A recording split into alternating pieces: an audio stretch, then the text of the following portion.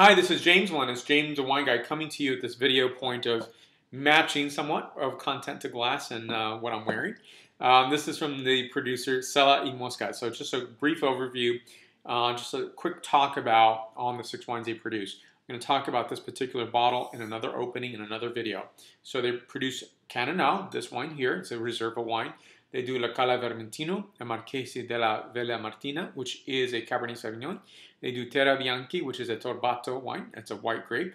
And a Carignano de Sulcis, and this is a DOC Reserva Carignan wine. Uh, founded in 1899, and uh, just uh, from their website is just showing what this winery looks like. It's a well-known producer, and I really look forward to tasting this Canonau wine. And Canonau, for those of you out there who isn't who aren't sure what this wine is, and this is a Grenache wine. This is what you're going to call this wine in Sardinia. So for more reviews, please go to jameswineguy.com. Please subscribe to my videos on YouTube, Facebook, Twitter, Vimeo, Google+, Pinterest.